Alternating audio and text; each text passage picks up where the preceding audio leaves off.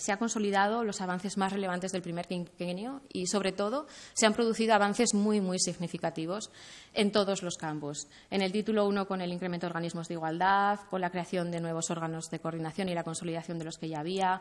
En el título 2, a través de la mejora en los, usos, en, los datos desagregados por sexo, en la evaluación de impacto de género, se ha habido un crecimiento exponencial. Y, sobre todo, en el título 3, en las áreas eh, concretas, se han observado mejoras en todos los capítulos. Capítulo 2 con la puesta en marcha de Beguira, en el capítulo 3 con la aprobación del plan de coeducación, en el capítulo 4 con la duplicación del número de planes de igualdad en empresas que se han ido desarrollando y de las ayudas que se les han dado para hacer estos planes. Ahora bien, sí que nos quedan una serie de retos por los que hay que seguir trabajando. Eh, el agotamiento, quizá, de los planes de igualdad, eh, la presencia de mujeres y hombres en los órganos de dirección, en asociaciones y organizaciones profesionales y empresariales, ese ámbito privado en el que es más difícil incidir para la ley.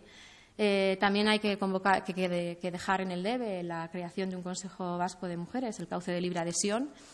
Y dejo para el final eh, lo primero, porque es lo que yo destacaría como más importante, que son el analizar la cantidad y las condiciones laborales de las personas que están trabajando para desarrollar y sacar adelante la ley para la igualdad.